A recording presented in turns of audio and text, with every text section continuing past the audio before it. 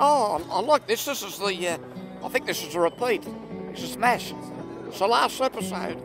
I get a bit teary when I watch this show. Oh, oh change the channel. It's making me go emotional.